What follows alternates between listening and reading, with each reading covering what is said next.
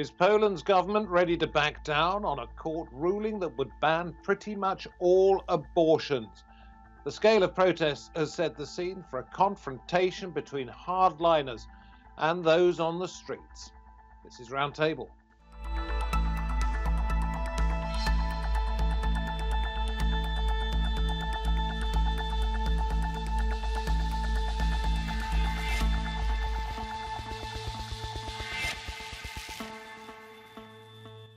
Hello and welcome to the programme. I'm David Foster. You know, there are fewer than 2,000 legal abortions in Poland each year at the moment, yet the court in question has been packed with conservatives by the government, and they want even stricter laws than those that already exist. In October, the Constitutional Tribunal of Poland struck down a law which had authorized abortions for malformed fetuses. Removal of that law would effectively see the banning of most of the small number of legal abortions carried out there. The ruling prompted Poland's biggest protest since the collapse of the Soviet Union in 1989. Thousands of people took to the streets in cities across the country, Poland already having some of Europe's most restrictive abortion laws. Following the protest, the government delayed implementation of the court's verdict, but protesters say they will fight on. So, will the government back down? Very pleased to say that we can welcome to this roundtable Krystyna Kacpura. She's in Warsaw, Poland's capital, Executive Director of the Federation for Women and Family Planning. Uh, professor Anita Prazmowska joins us from London. She's a professor of history at LSE, specializing among other things in Eastern Europe and fascism, and in Krakow, in Poland. Thomas Ociepka, Deputy Director of the Analysis Center of the Jagiellonian Club. And Thomas, I know you support um, the tougher abortion measures. I'll come to you in just a moment, but let's go to Krystyna first because you've been on the streets. Gatherings of five forbidden, five plus forbidden, and yet we've seen hundreds of thousands of people together. What is the atmosphere on the streets of Poland? You know, it it happened just after the judgment of the Constitutional Tribunal in Poland. And according to this judgment, abortion because of fetus abnormalities is unconstitutional. So this is a crime, and a doctor could be imprisoned when he performed such kind of abortion. Uh, it was too much for Polish women. You know, there were many, many fantastic, uh, fabulous uh, kinds of protests, marches, demonstrations. Uh, I live in Warsaw, so I took part in a couple of protests. Uh, not for a long time because of pandemic. I'm not a young woman, but so uh, I was afraid about my health as well but I talked to many young girls and men as well, because many men were accompanying their partners, girls, and, and just alone, because this is not the problem only for women in Poland, this is the problem for Polish families as well. Uh, so, uh, you know, really, this was a huge and still power in Polish women. And Indeed, I want to ask you go, go back a few years, and there were similar protests about four or five years ago. Would you say the the intention of the protesters this time is much stronger? Their determination is stronger. Um, I think that intention and determination were stronger because uh, after 2016 and even 2017 protests and marches, uh, women were in a process of education and many, many campaigns around Poland just rose public awareness about the importance of reproductive health and rights. So women were uh, educated, they understood the meaning on reproductive rights. And right now, when you ask a question on street, uh, what are you fighting for? For my body, for my decision, for my dignity.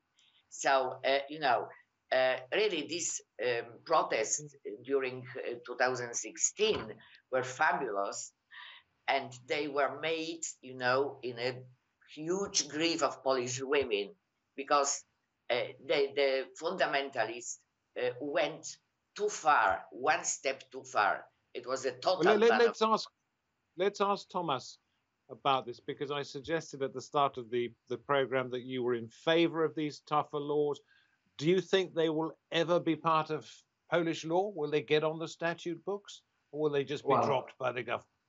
Well, I, I, never said that I was in favor of tougher laws than we have so far. Uh, I would agree that um, supporters of uh, those ruling indeed went a step too far in the sense that this ruling is against the sentiment of, of the society. And uh, to understand uh, the scale and the strength of uh, those protests, we must emphasize that the voters of law and justice, the ruling party, were also against that ruling and such a strict uh, restraint on abortion laws. Uh, which also explains why uh, there were so many protests uh, in the interior, in the middle or even small cities.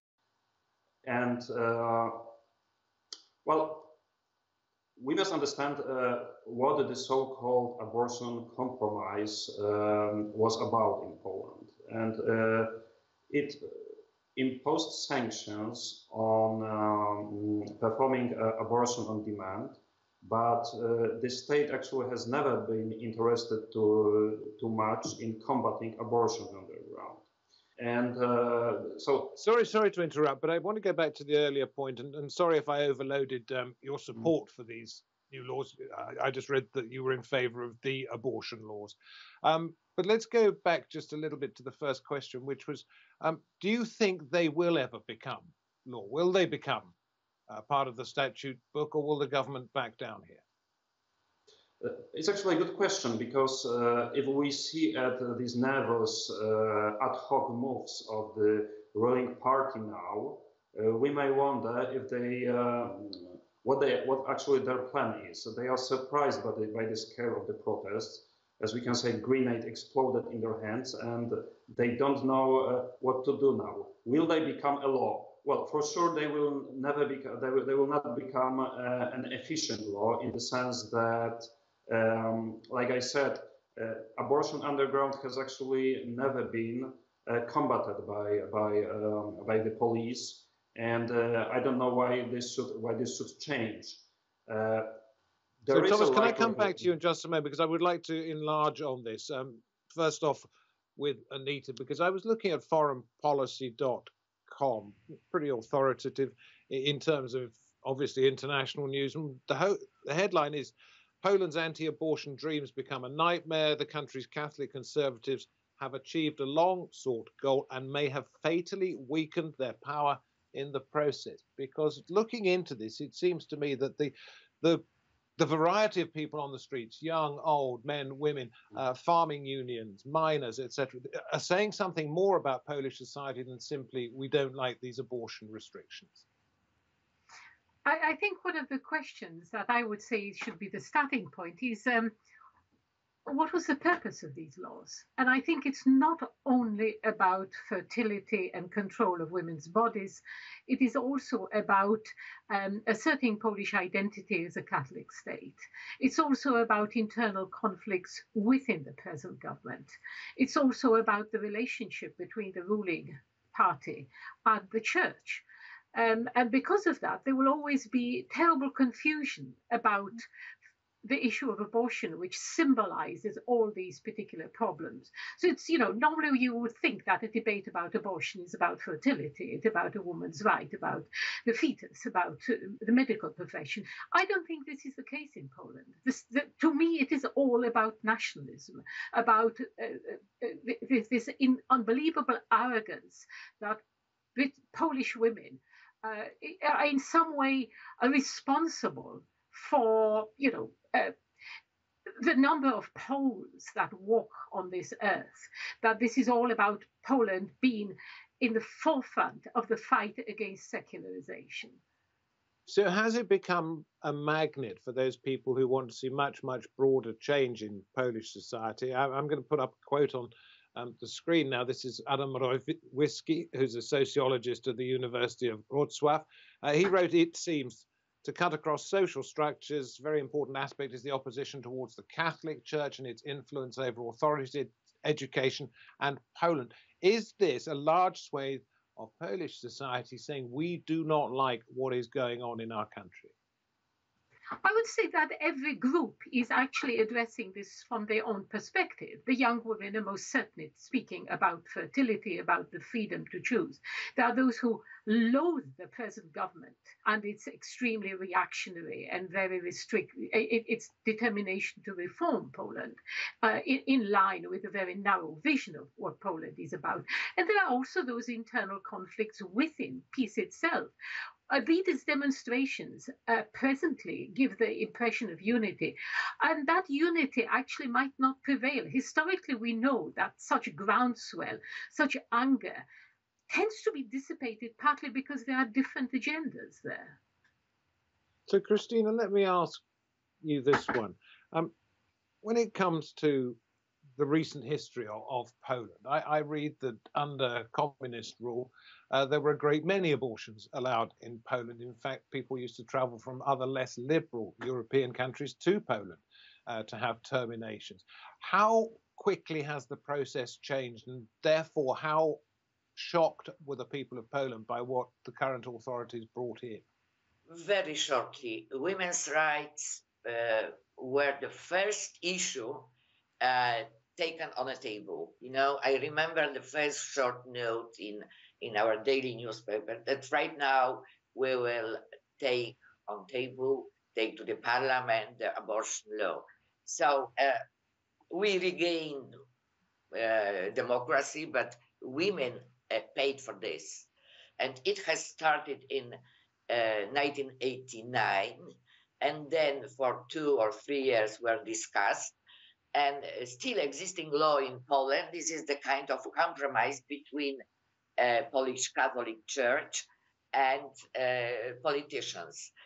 Uh, you know, this is a strange thing because Polish Catholic Church was strongly engaged into the democracy processes in Poland, was very helpful.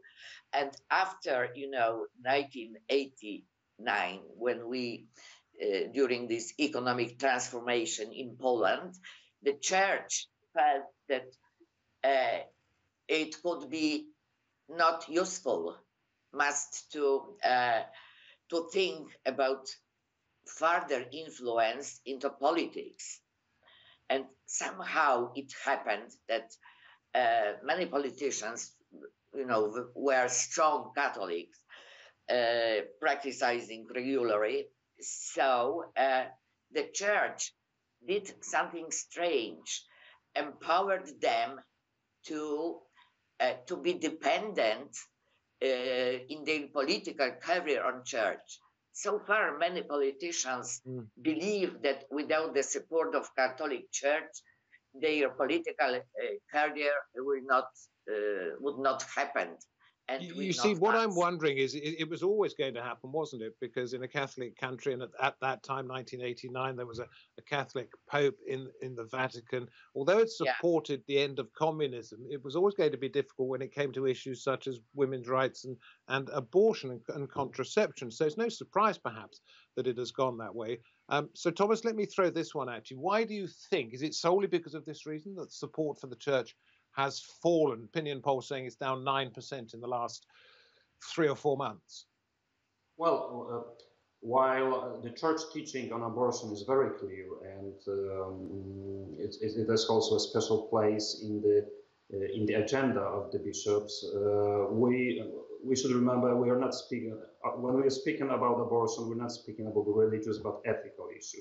This is a ever this is a never-ending ethical controversy and uh, if we look at the polls, at, at the surveys, uh, the support and the positive opinion about the Roman Catholic Church in Poland uh, now is much, much lower uh, than the support for the existing uh, abortion law from before the, the recent uh, ruling of the Constitutional Tribunal. So I. But is this a reflection of Polish distrust in authority per se, across the board, perhaps?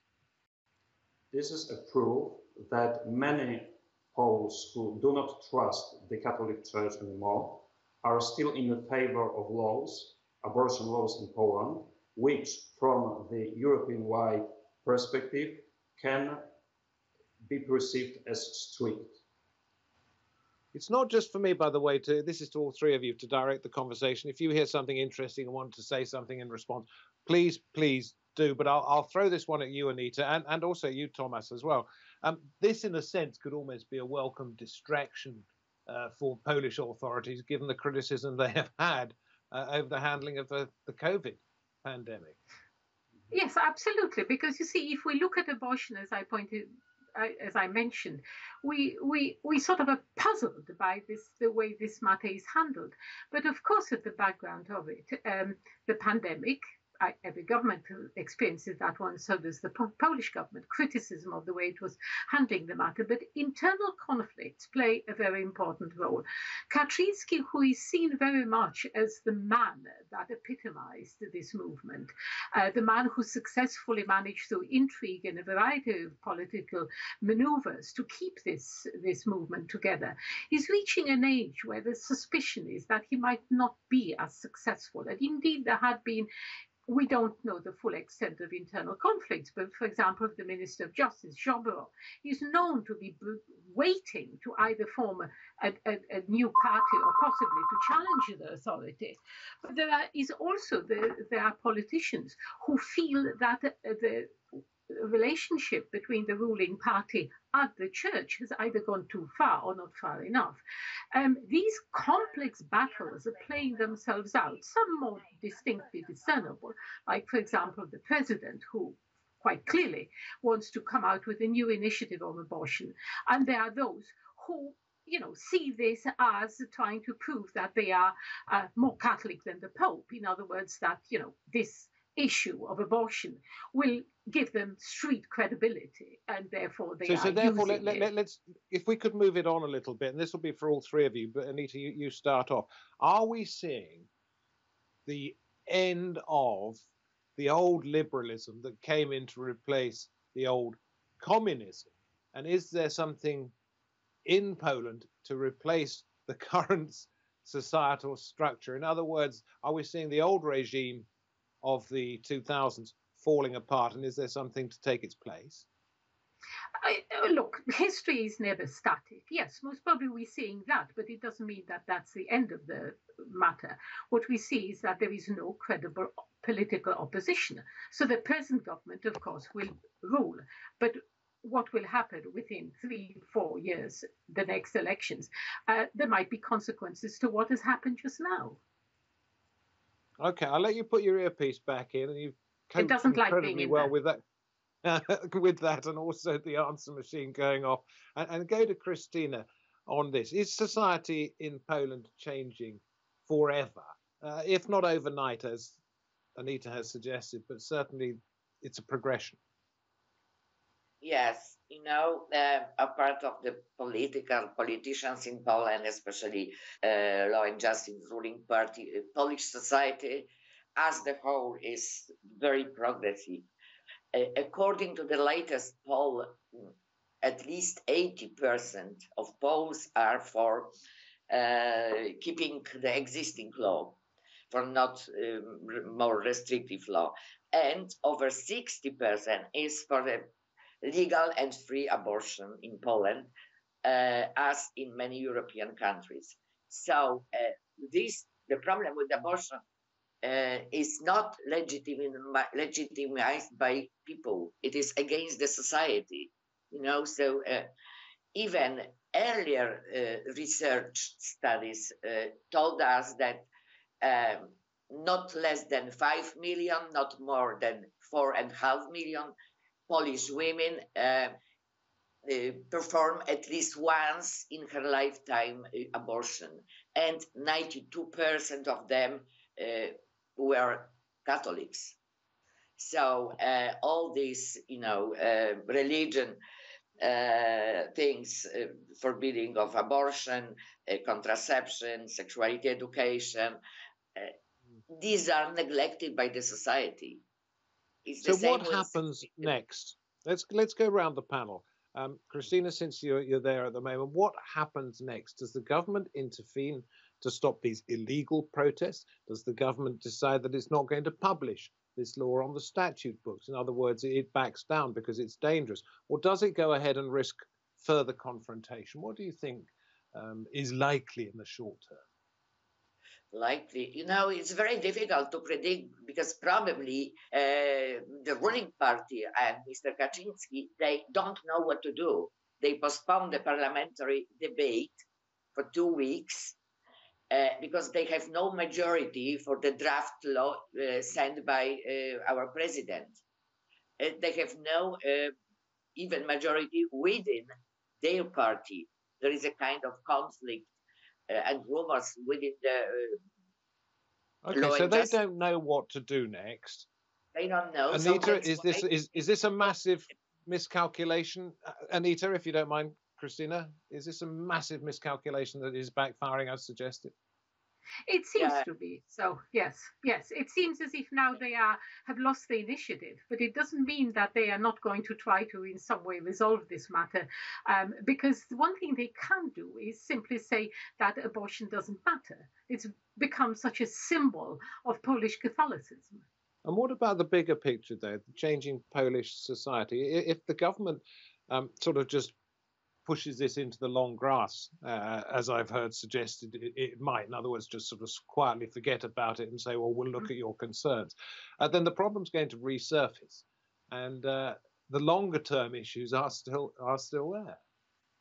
The secularization is something we haven't mentioned. Yeah. That Poland, like all societies in Europe, uh, uh, uh, the church becomes less relevant. With the end of communism, the church became less of a symbol of opposition. Opposition took a different form. And that is what the church fought against, uh, becoming irrelevant. Um, there is also the Pope, whom we haven't mentioned. Uh, the present Pope is very different from the Polish Pope. His attitude is that the church should get out of the bed. I would be very interested to see if the Pope cares to get re-engage or engage in Polish affairs, that the Polish episcopate risks its reputation by becoming too close to daily politics. Okay, let's ask Thomas about that as we come to round off the program. The church is becoming increasingly irrelevant in society in, in Poland, and the authorities would be well advised to be aware of that.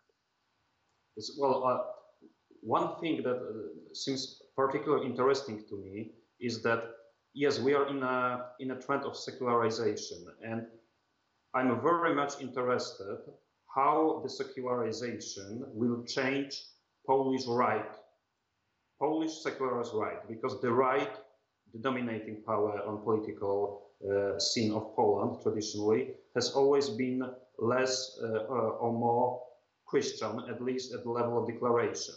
And I think that within, uh, say, maybe 10 years, maybe 15 years, we can see a sort of Polish equivalent of American alt-right, pagan uh, conservative for not Christian right.